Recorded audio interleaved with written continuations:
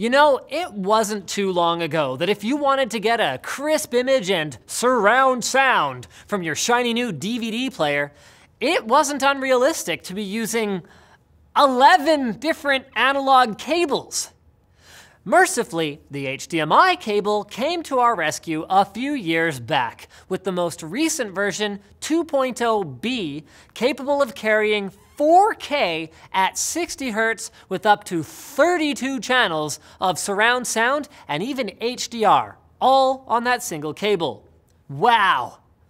But of course, with all the cool, copyrighted content flowing through that one convenient pipe, the powers that be wanted to make sure that it couldn't be copied without permission, which is why most HDMI source and display devices, set-top boxes, graphics cards, TVs, even the Chromecast, also support a feature called High Bandwidth Digital Content Protection, or HDCP.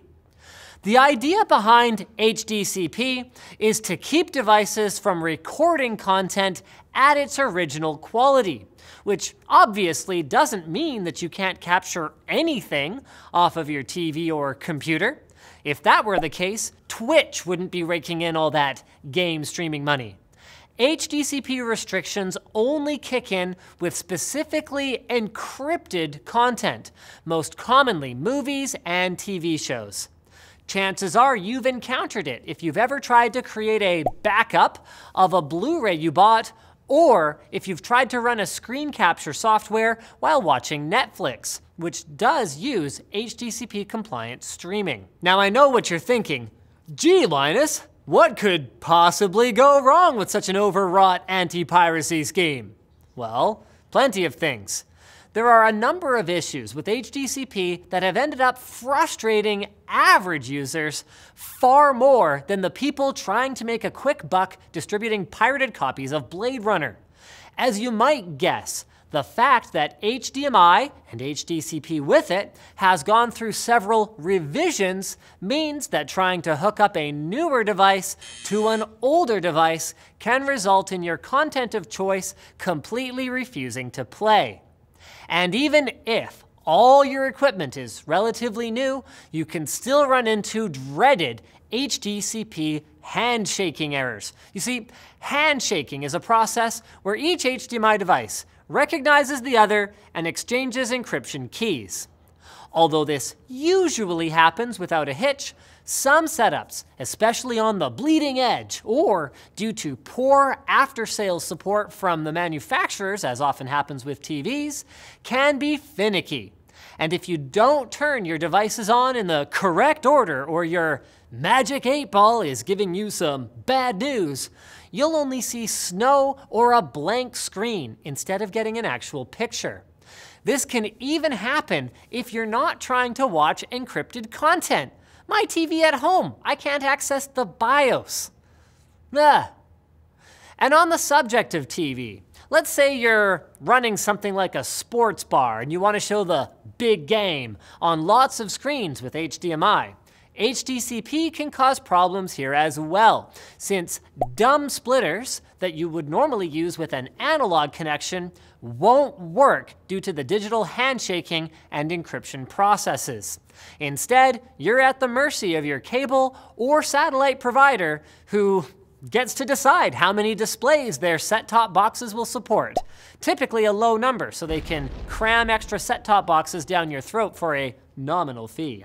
But that isn't to say that there aren't workarounds. The most common way to defeat some of these HDCP frustrations is with a proper HDMI splitter, many of which ignore HDCP and sometimes allow new and old equipment to play together more nicely. Of course, they also allow you to send your HDMI signal to multiple screens but the splitter still has to be recognized by your source device, which can be hit or miss, depending on the firmware and exactly what version of HDCP your gadgets and the splitter itself support, so your mileage may vary. So the most frustrating, yet unsurprising thing about all of this is that while HDCP is great at angering normal consumers, It's actually terrible at stopping piracy, as the encryption scheme it uses is relatively weak and has already been cracked, including the most recent version at the time of filming, 2.2. So perhaps one day we'll be able to convince our corporate overlords to ditch HDCP but given that these are the same geniuses that gave us things like rootkits on audio CDs, mandatory online gameplay, and product activation, we may be in for a bit of a wait. Speaking of wait, what are you waiting for? Do you want to build a beautiful website? Do you want to use tools that make it easy to put together something, whether it's for your store or your sports team that you coach or uh, a restaurant that tells other people who you are and what you're about? Well, stop waiting because Squarespace, for only 12 bucks a month, lets you do just that.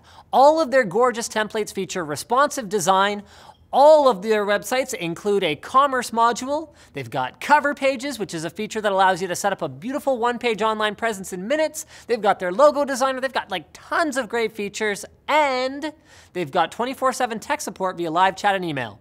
So stop waiting. Start a trial with no credit card required and start building your website today. When you decide to sign up for Squarespace on an ongoing basis, make sure you use offer code TechQuickie linked in the video description to get 10% off. Thanks for watching. Like, dislike, check out our other channels, leave a comment with a suggestion, and subscribe.